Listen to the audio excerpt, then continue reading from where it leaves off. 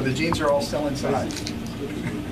So So what we found was that there really is one central mechanism that controls these 24-hour cycles internally.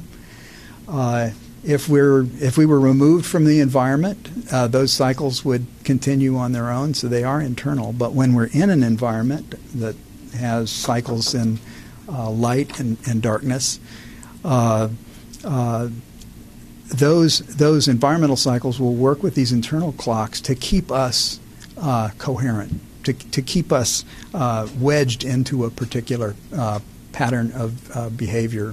I I stand on the shoulders of giants, so it's a, it's a, it's a very, very uh, humbling, humbling uh, award, really. It, you recognize circadian rhythms by the fact that you get sleepy at 10 or 11 at night, you wake up automatically at 7 in the morning, you have a, a, a dip in your alertness in the midday, maybe at 3 or 4 in the afternoon when you need a cup of coffee. So that is the clock, that is the circadian clock, which is manipulating your sleep wake or your alertness tiredness cycle. I must say, um, it's, it's, uh, we haven't quite we haven't quite slipped into into unbridled joy.